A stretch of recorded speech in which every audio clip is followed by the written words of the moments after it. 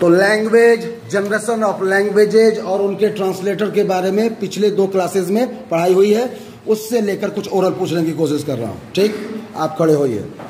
आप छोट हम्म। क्या है लैंग्वेज कंप्यूटर लैंग्वेज से क्या समझते हो? समझाना है। कंप्यूटर लैंग्वेज बाइनरी लैंग्वेज को एक्सेप्ट करता है।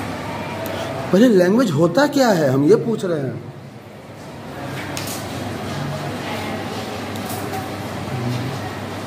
लैंग्वेज का हिंदी क्या होता है? भाषा? हिंदी वाला हिंदी पढ़ते हो ना सविता मैम से? लैंग्वेज मीन्स भाषा। तो कंप्यूटर की भाषा क्या है? क्या समझते हैं हम उससे? टाइप्स ट्रांसलेटर बात की बात है। ट्राई कीजिए।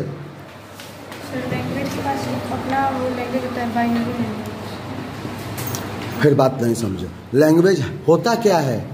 करता क्या है? ट्राई कीजिए। लैंग्वेज जैसे हमारे बहुत सारी लैंग्वेज होती है हिंदी इंग्लिश हाँ बिल्कुल। हाँ। उसी टाइप का ये भी लैंग्वेज है कंप्यूटर का। हाँ तो इससे होगा क्या? सही जा रहे हैं आप। बहुत सही जा रहे हैं। होगा क्या? इससे मतलब अब जान ये अलग ही कोडिंग है। कोडिंग बात पर हम आए नहीं। जनरेशन पर हम आए नहीं।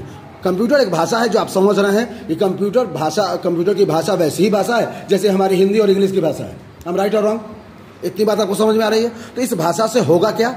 हमारे हिंदी और इंग्लिश से होता क्या है? हम सीखते हैं। नहीं। हम आपस में कम्युनिकेट करते हैं। ठीक? तो यही आंसर कंप्यूटर के लिए भी होगा।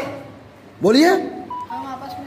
फिर हाँ, आपस के लिए तो हम एग्ज़ाम्पल दिए हम आपको आंसर बता रहे हैं फिर भी आप नहीं दे पा रहे हैं।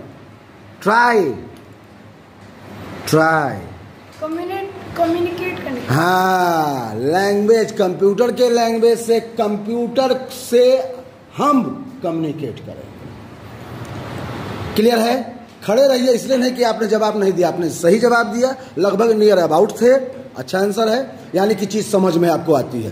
थैंक यू इसलिए कि मेरी क्लास जाया नहीं गई। जाया मतलब बर्बाद नहीं हुई। ठीक? कोई दिक्कत? मतलब भाषा से हम आपस में कम्युनिकेट करते हैं, बातचीत करते हैं, अपने फीलिंग्स शेयर करते हैं। तो कंप्यूटर एक मशीन है तो मशीन से भी अपनी फीलिंग या अपने विचार शेयर करने के लिए वी यूज़ कंप्यूटर लैंग्वेज कोई डाउट है? यहाँ तक बात ओरल भी हो गया और एक रिवीजन भी हो गया। खड़े होइए। हाँ।